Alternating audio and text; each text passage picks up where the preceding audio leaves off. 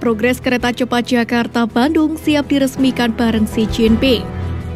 Menteri Koordinator Bidang Kemaritiman dan Investasi Luhut Binsar Panjaitan mengungkapkan pemerintah menargetkan kereta cepat Jakarta-Bandung atau KJJP bisa diuji cobakan pada November tahun ini. Hal itu nantinya akan bertepatan dengan puncak acara G20 2022. Luhut berharap Presiden China Xi Jinping bisa ikut meresmikan proyek besar tersebut. Luhut juga menjelaskan untuk moda kereta akan diuji cobakan dari Tegaluar menuju pada Larang.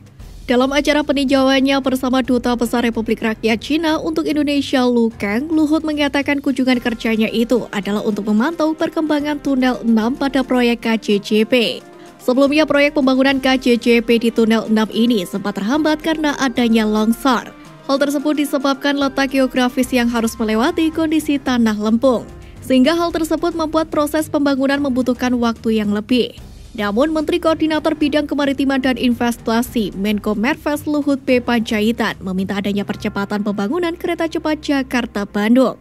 Hal itu disampaikan Luhut ketika mengecek perkembangan proyek, tepatnya di subgrade 33 dan tunnel 6 bersama Duta Besar Cina untuk Indonesia Luka, yakni pada Rabu 30 Maret 2022 kemarin.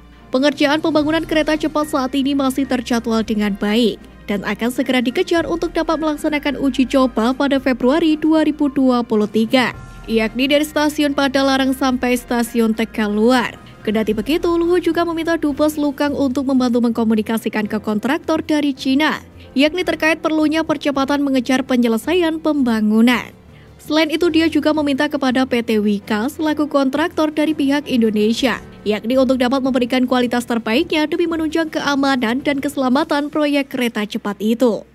Sementara itu, Dubes Cina untuk Indonesia Lukang menyampaikan bakal berkomunikasi dengan kontraktor dari Cina perihal kendala di lapangan serta solusi untuk percepatan pembangunan kereta cepat.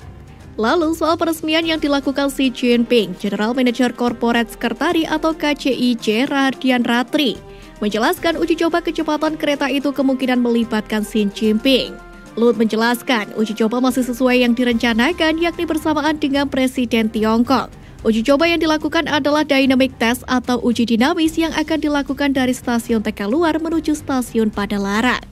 Pada dynamic test kecepatan yang diperkenankan adalah 40 km sampai dengan 120 km.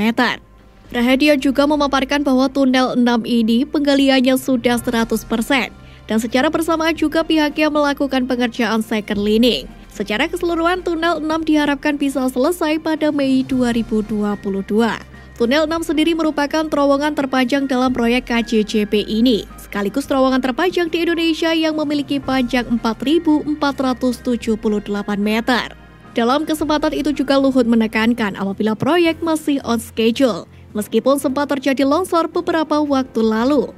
Namun sejauh ini dari Luhut mengaku pihak kontraktor dalam KJJB Indonesia dan China sudah sangat baik.